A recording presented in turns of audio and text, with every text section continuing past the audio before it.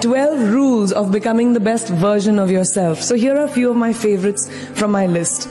There's only one you, okay? Because there's no one like you. I'm talking about the core of you, who you are inside, your values, your beliefs, your flaws. And once you understand who really that person is, you would have made, taken the first step in finding your unique self. And that is the best version of you. Rule number two. Let your dreams fly. Give them wings.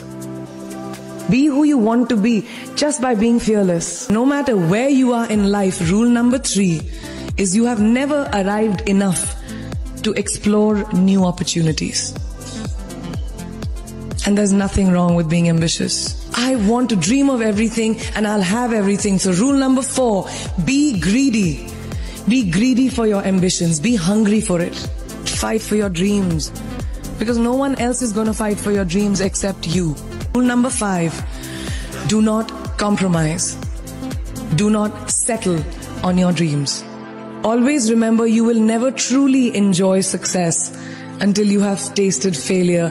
Rule Number six, fail, fail, fail again and then rise like a phoenix. Rule Number seven, be bold and take these risks.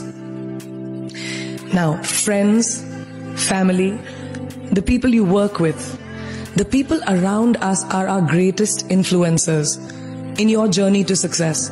So you have to choose very wisely. Rule number eight, surround yourself with the right people who do not stab you in the back. Guys, please let me just tell you this. No matter what you do, someone will always be unhappy. Always. So rule number nine, you can never please everyone all the time. And the biggest favor that you will all do to yourselves will be to laugh at yourself, at situations, find a moment to appreciate every single day this funny thing called life. And that's my most important rule number 10. Don't take yourself too seriously. We're not making rockets. Alright? Calm down, have fun, and just enjoy. Number 11. Give back. And finally, the most important one. Always remember where you came from.